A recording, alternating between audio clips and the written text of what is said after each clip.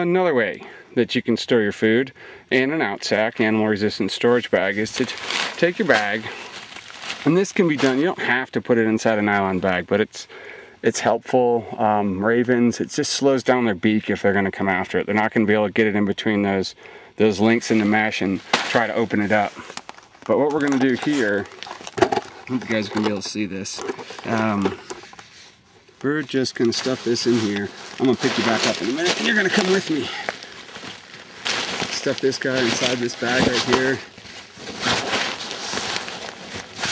Seal them up so no one can walk on in there. I don't know if you guys are seeing me seal this or not. But I'm just wrapping the cord around the top of this bag.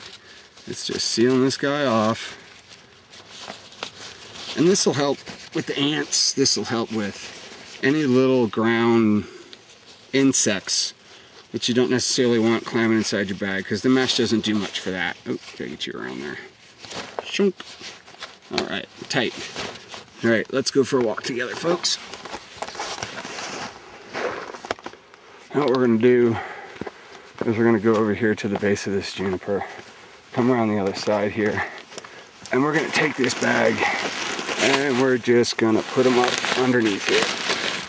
Um, this does give access to rodents but ravens can't get up inside that tree to go after that bag. They'd have a real hard time. Rodents, of course, can get at it, but the mesh is going to prevent them from getting at your food. Another good way to store your food if you're in an area that you can't find a crevice or a rock to shove a pole in or a tree to shove a pole in. We don't encourage anyone to hang directly from a tree, um, especially one that is living. All trees down here do provide shade and uh, we want that shade to be here for the next group of hikers that come down. Uh, so do respect the environment and be nice to the trees while you're down here.